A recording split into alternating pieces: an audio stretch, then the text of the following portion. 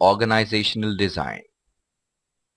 We all know that the process of developing an organization structure is sometimes referred to as organizational design. In this lesson, we will define organizational design, explain the different factors affecting the organizational design, describe the forces reshaping the organizations, and discuss the Perrow's and Thompson's contribution. After going through this presentation, you should be able to explain factors influencing the organizational design, key processes of organizational design, five structural configuration, why do structures differ, and forces reshaping organization. Organization design is the process of constructing and adjusting an organization's structures to achieve its goal. Henry Mintzberg identifies two dimensions on which effective structure depends on regulation and sophistication.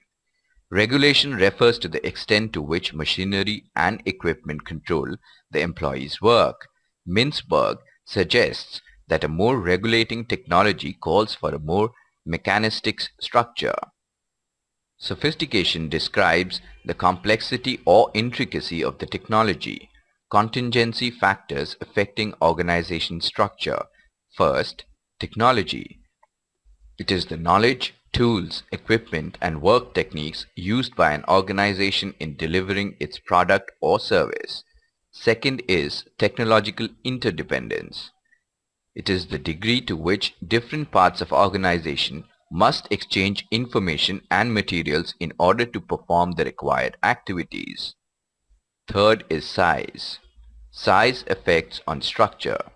As organizations grow, they are likely to add more departments and levels, making their structures increasingly complex.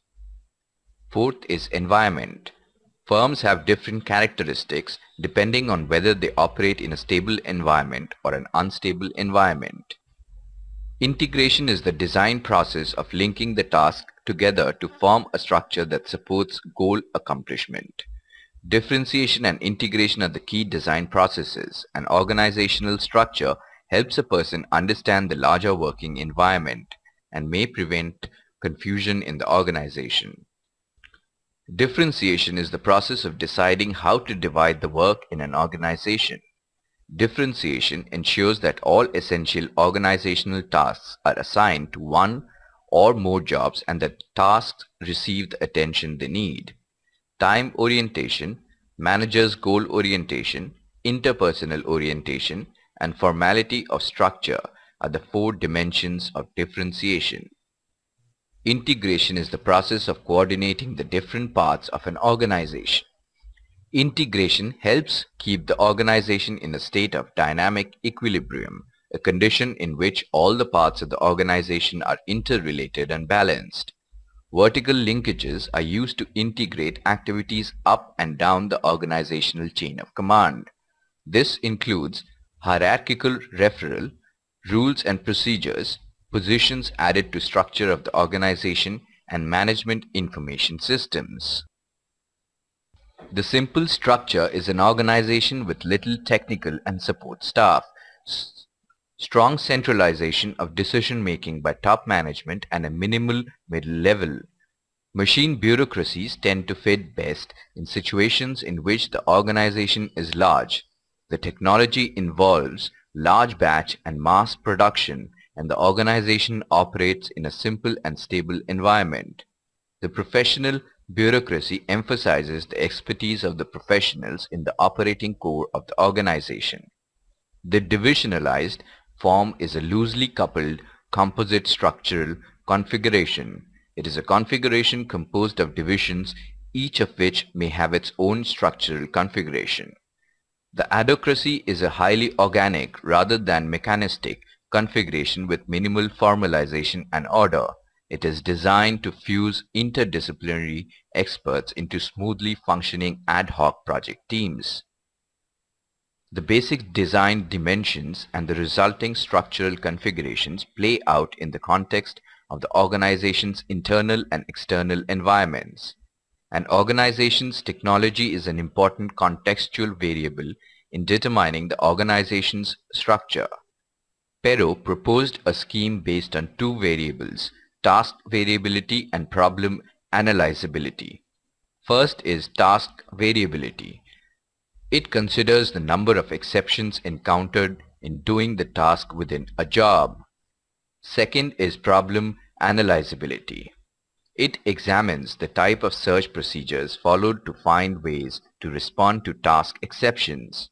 Four structural elements are the amount of discretion that an individual can exercise to complete a task, the power of groups to control the unit's goals and strategies, the extent to which organizational units coordinate work using either feedback or planning, and the level of interdependence among groups. Thompson's view is based on the concept of technological interdependence and the pattern of an organization's workflow. The next contextual variability of organizational design is environment. An organization's environment is composed of those institutions or forces that are outside the organization and potentially affects the organization's performance. Some organizations face relatively static environments Few forces in their environments are changing. Other organizations face very dynamic environments, rapidly changing forces in their environments. Static environments create significantly less uncertainty for managers than do dynamic ones. Strategy and goals is the contextual variable that influences how the design dimensions of structure should be enacted in the strategies and goals of the organization. An organization's structure is a means to help management achieve its objectives. Forces for reshaping organization are First is shorter life cycles within organizations. Organizations are dynamic entities. They have a life cycle that begins at birth, moves through growth and maturity to decline. Organizational subunits may have very similar life cycles. Second is globalization.